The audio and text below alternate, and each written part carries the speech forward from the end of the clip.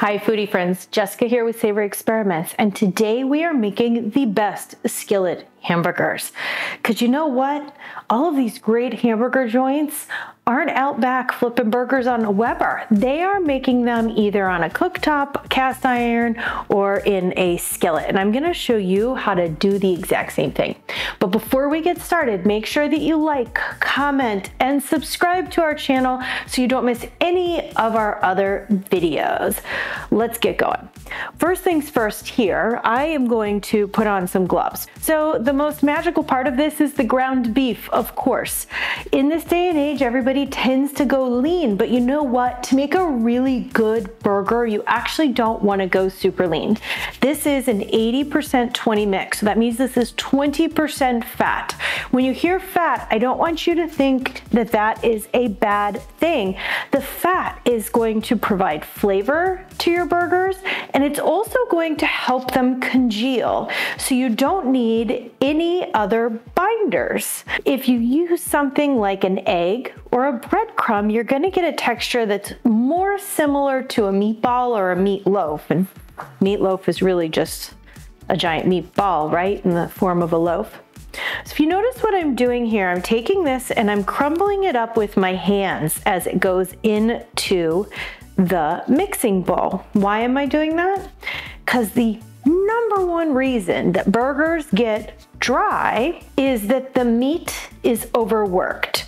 See, ground beef has a lot more surface space than other types of beef, and it's already been manually tenderized one time when it went through the meat grinder.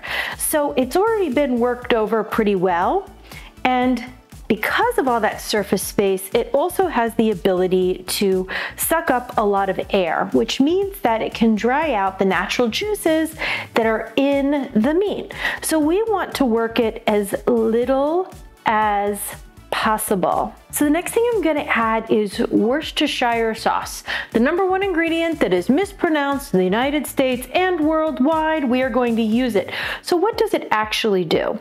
It has super rich, deep, savory flavors. And it can be added to anything from ground beef to soups to salad dressings. I love it in marinades. This mixture right here is just garlic powder and onion powder. You guys have heard my spiels before on those two items or any kind of ground herb or seasoning. Make sure you buy the smaller bottles because they start to lose flavor the moment you open them. In about six months, you're gonna have more sawdust than you are actual flavor. Now, garlic powder and onion powder I go through super fast, so I don't worry about it as much. But if you don't, make sure you get those smaller bottles. Give it the sniff test before you use it. Oh, I've got some on the counter. Just to make sure that it isn't totally bland. Pop that off to the side. Okay, so we've got our seasonings in here. The meat, as you can see, is already fairly even with those seasonings. I'm gonna take it a little bit more and instead of really mixing it, I'm just kind of kind of crumble it together between my fingers. I've seen some folks take this mixture and put it into something like a KitchenAid with the paddle attachment, and their thought process is good. The problem is that overworks it and it changes the texture, and that can make the hamburger patty seem mealy or dry in your mouth. So we want to avoid that. You could also use any kind of seasoning you want. Taco seasoning, fajita seasoning, blackened seasoning, um, Cajun seasoning, anything that has seasoning on the end, even like plain old poultry seasoning. Just because it says poultry doesn't mean you can't use it on, on beef, right? So we've got our meat mixture, super easy. The next thing we gotta do is form our burger patties. To do that today, I'm going to use a burger press, although you don't need to have a burger press. You can do this without it. But there is one key element to a burger press that I want you to be aware of. It is all of these grooves. See those grooves? These grooves help the meat create little pockets so that when it's cooking, naturally it seizes up and it goes like this.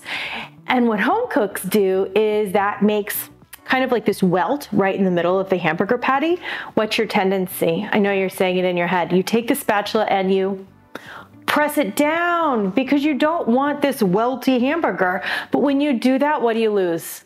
All the juices and the flavor right out of your burger. But if we give the meat a place to go when it seizes, like these grooves, you won't have that. You'll have a perfectly flat burger at home. This also helps me make even sizes. I'm gonna spray it too, just because, you know, things get stuck and it's fine. Keeping this cold can also help with it not sticking, but I didn't have time for that today. Now I've got a piece of meat, and this is a giant piece of meat. I don't need that much. Okay, and I'm gonna throw it right on into this press. If it overflows, it overflows. It's perfectly fine. And you press it right on in there. You might wanna fill some of the pockets. It's okay if it doesn't fully form out. These are homemade burgers. The, you don't want them perfect. You want them to have unique edges and ripples. If you wanted perfectly uniform burgers, you would have bought some at the store. But you didn't. So here we go. We've got our two burgers with little grooves included. Plop them right out there onto a parchment or wax paper lined sheet. I'm gonna finish with the rest of this meat, but you can either, at this point, put them back in the fridge, which I do suggest because all of those fats, even though they weren't out in the air for so long, are still warmer than they were. And in order for them to congeal, to hold the burger together while we cook it, we want them to be cold.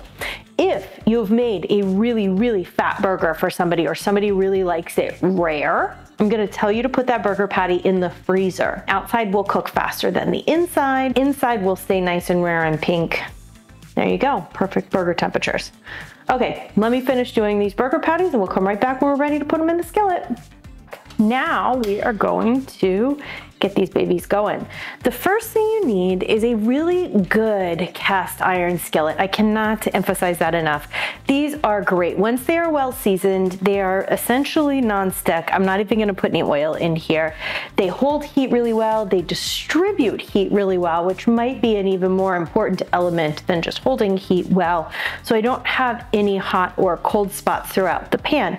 You wanna get this super, super piping hot. I wanna hear that that sizzle as soon as it hits the pan. We just added a fifth S to our 4S philosophy, and it is the senses. So I want to smell it hit the pan, and I want to hear it hit the pan. And then lastly, I'm gonna see it turn brown. So what we're going for here is actually a nice crust on the outside of the beef patty. Most people are like, ooh, I don't want it burned. I'm not talking about burning it.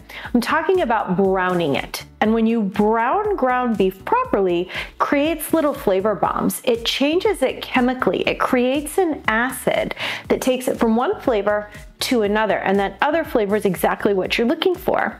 And if it's seared at a high enough heat, all of the juices and all of the flavors stay compactly inside of the burger instead of leaking out. We've done all this work to make these great burger patties. Not a lot of work, it was actually pretty easy. But you don't wanna ruin them now. This is nice and hot, I can feel it. I can feel it hitting my face. So we are going to go ahead and plop our burgers in. So the next, hear that? Ah, yeah, baby. Fifth S, that's what we were going for. Yeah. I'm not gonna talk over the sizzle. Let's just really embrace all that is going on right now with these delicious burgers, making some major, call them browning points. Get it? Instead of brownie points, it's browning points in the cast iron. Okay, I just flipped these burgers. Let me show you what I've got going on here. Can you see that? Can you see, we're gonna call it a bark. That's what it's called. This bark on the burger. Uh, that is not burned. That is deliciousness. That is flavor about to come into your mouth. Okay? So whatever you do, resist the urge to push them down. And as you notice too, because we have those little grooves, they're flat. That's what I forgot to tell you. If you are making burger patties at home without a mold, what I want you to do is take the burger patty and make a well in the center of it. And when you do that, then it'll seize together and that well will close and you'll have a flat burger patty.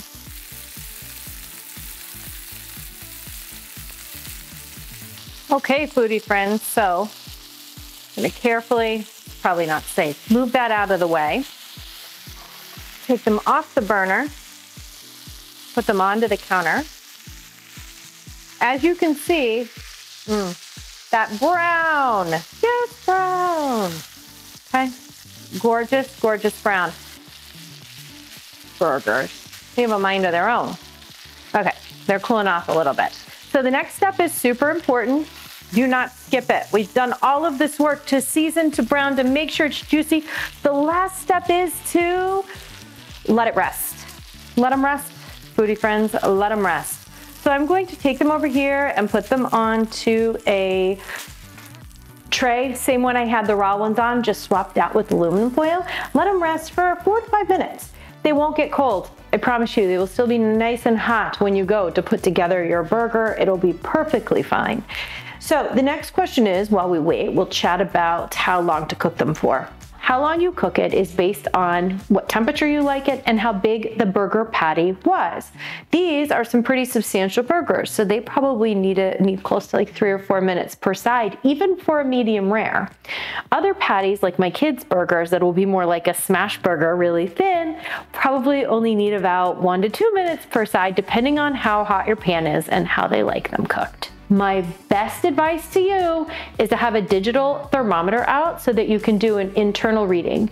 Remember about carryover cooking though. Carryover cooking means that they're going to rise approximately 5 degrees Fahrenheit while they are resting. So if your goal is 160, remove them from the pan at 155 and they'll come up to 160 while they're resting. The only thing left to do is assemble our burgers. So really there's only one more question. What do you like on your burger? And I wanna hear it. I want you to put your favorite burger toppings in the comment section of this video. We have our gorgeous burger patty. You see that there? Look, no juice falling onto my bun, not making it soggy because we let it rest. Oh, it's good, really good. I am basic when it comes to burgers because you know what? A really good burger patty doesn't need much more. So I'm just gonna do, my kids would tell me that the ketchup farted. And then we'd all giggle because I'm like still six inside. And a little bit of mustard, shaking it good. I just like a couple of dop, dop, dop, dop, dop, dop, dollops of mustard. Okay, sesame seed brioche bun. And there you go. I might do some red onion on it, but then I have horrible breath and I have to take my kids to gymnastics tonight, so that's not gonna happen. Anyway, delicious burger. Bye, Jess. From my kitchen to yours, have a fabulous day.